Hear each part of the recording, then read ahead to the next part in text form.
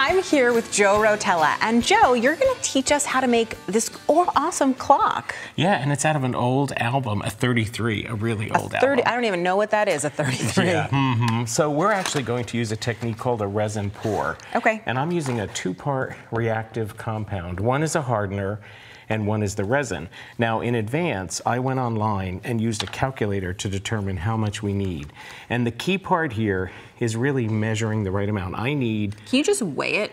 You can't. This is fluid ounces. It's not the same as weight. So you're just looking at the markings so on the cup to make sure that it's absolutely perfect. Mixing one to one? Exactly, one to one. Just be sure you read the product's directions. And these bottles, when I touched them, they're a little bit warm to the touch, which is perfect. Sometimes if it's in a cold space, you'll want to put these in some warm water. Just set them in there for like five to 10 minutes just to warm up the product. That's one of the reasons you'll get a cloudy pour is if you don't measure it right and it's not the right temperature. So now I have three so ounces, I hope. One to each. one, the liquid is warm, you have it in two separate cups. Now, why can't you put them both in the same cup at the same time? You're unlikely to then measure the right amount. So okay. I'm gonna pour the hardener now into the resin. And Could you pour the resin into the hardener or it has to be the other way? It really should be this way, and I'm not a chemist, so I don't know why. I wish I knew. And you just, you just follow the instructions. That's what I do sometimes. I'm like, I don't know the reason why. I'm just following and the instructions. these cups have straight sides, and I'm using a stir stick that has a straight edge so that I can scrape around the edge and occasionally scrape the stick. And I need to do this now for two minutes. Okay, so you're just going to stir for two minutes. So I've been scraping the sides as we go and scraping the stir stick. Now this has been two minutes. And this requires a secondary mix.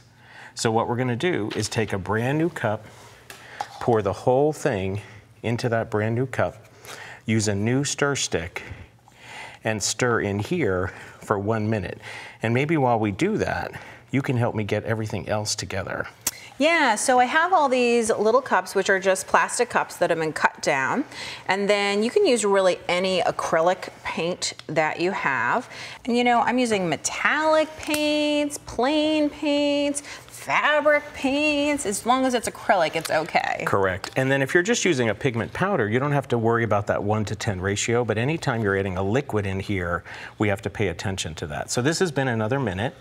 So I'm gonna go ahead and add this resin into the paints that you Oops, have ready. I think I may have added too much paint. Nah, we'll no, we're gonna we're gonna make it work. We'll be okay. I like it when you say that. We're gonna make it work. So I'm gonna add resin to each one of these. Okay. And then we can also add just a couple drops of silicon oil. It could be silicon oil like treadmill oil, sewing machine oil, so um, just a couple drops of this? Just a couple drops. Okay. This and feels like chemistry to me, Joe, and I want to make sure is. that I have everything right.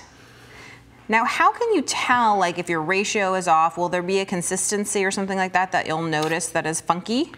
You know, if you're nervous the first few times, I would put stuff in your cups, put water in your cups, and mark, you know, one amount and then 10 times that and then you'll have a good gauge. Now I'm gonna go ahead and start stirring these. I think you need okay. a couple drops in there. I'm counting each drop, one, you can, two, you're three. doing an excellent job. And as we stir these, so make I'm sure you use a different too. stick for each color. Okay. And I can see that without mixing, the paint does not want to get together with the resin. You gotta, you gotta push them both together. So now I know you said to me that I, I like shiny things, which is why I'm using this gold metallic, but you said we can add even more glitz to it. We can. Once it's poured, we're gonna add some glitter, diamond dust, uh, Will anything be okay in resin? Can you add beads? can you add? You can just be careful that it has to be perfectly dry. There are people who talk about adding, you know, wood shavings and things like that. If it's not totally dry, that moisture is going to impact whether or not the resin hardens.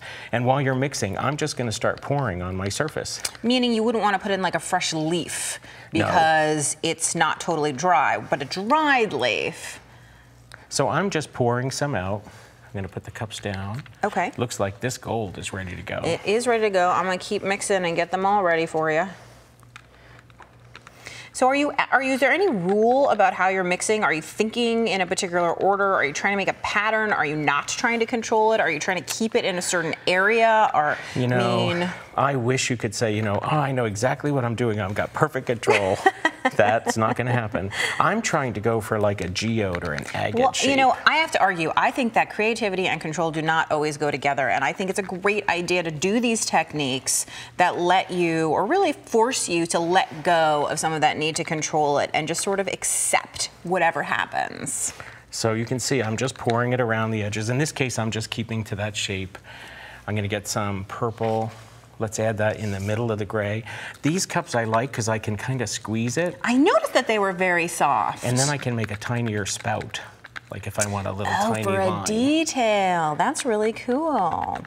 So why are we pouring black onto black? Because that's the color I just well, mixed. I want the surface to be the same height all the way around. I want it to be smooth. Oh, so even if you just want the black of the record to show, you really want to use the resin Yep. so that it's not all bumpy and odd. Now, you can use your stir sticks. Just keep your colors together. Would I'm you gonna like the black, black one? There you go. and let's just get some of that it little goodness out of there. You never really are going to make exactly the right amount. So sometimes I'll have CDs or other things that I want to coat with resin handy, just so so, just that I can for when you pour. have excess. And I'm trying to get it to flow over the edge. They call it a flood coat. Uh, so it's kind of like when you're doing a cake or something and you want it to go right on over. Now, the last thing I'm going to do is, since I'm wearing gloves, I Oh, can yeah. I can tilt it. You can touch it. I can touch it if I want because I'm not worried about my hands. Right. I can. Oh, I like that drizzle through like it. that drizzle? That's pretty cool. So let's go ahead and just tilt a little bit, get it to flow over the edge. You want to get some colors ready. oh, I'm gonna get some sparklies ready, baby. I love sparklies. Now I'm trying to tilt. And now I see why you needed the newspaper. See how it's moving? I do, and it's making it almost marbly. Now, is there any rule before I drop Nope, these sparklies drop some in there. Little magical fairy dust here. You know, if you want some real precise movement, you can use a straw. Mm.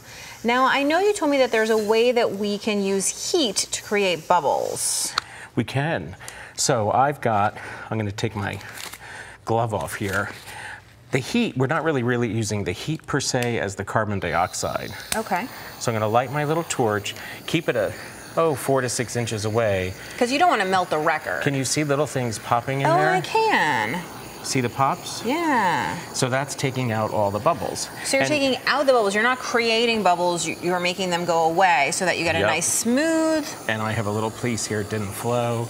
So now I'd probably come back and check on this every five to 10 minutes to And see if there's any to new pop bubbles. bubbles. And when I'm all done, The dried version. the dried version I have right here. so cool. And look at the colors. It's amazing. And if you look back at the finished clock, I would love to hang that in my house. Thanks so much, Joe. Thank you.